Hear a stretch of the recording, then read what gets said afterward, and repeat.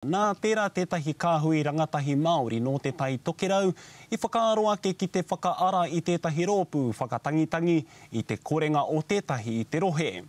Nā te māmā o tētahi o te kāhui nei a Matilda Watts te moemoea i ea ai i te whakatūnga o te rōpū nei ki tōna whare, kei a Muriwai Hei, Te Roanga-atu.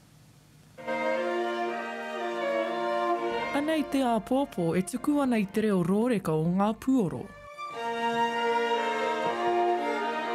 When you play music it's a different world, it's just an escape from reality.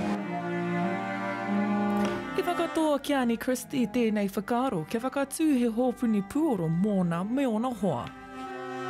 My mother was there and we were chatting along and saying, if we were going to start a strings camp, where would we go to. Like, so we searched through our land and we're like, our batch is the perfect place. And she just sort of made a comment, oh, it'll be cool to have a strings camp at the batch.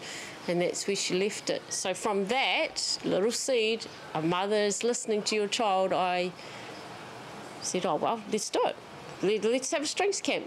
It's it's gotta be like a hockey tournament, wouldn't it? He kaupapa tēnei kia whakakotahi ai ngā rangatahi Māori i runga i te mahi tahi me te puoro anō hoki. Nā te noho taratahi he mea whakapiki i te wairua mō te rangatahi.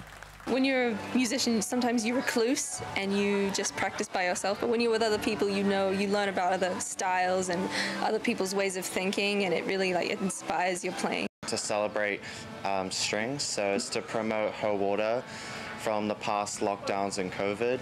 He wāhi tēnei e whakarauora ana i te hauora me te hinengaro o te rangatahi Māori. Anei he karere kia titia ki te hirikapo.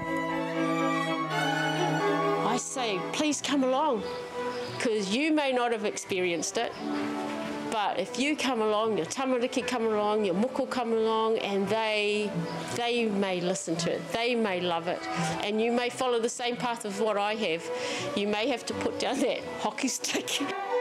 Tahitahi nei i te ara puoro kia mahea ai te āpōpō. Muriwai hei Te Karere.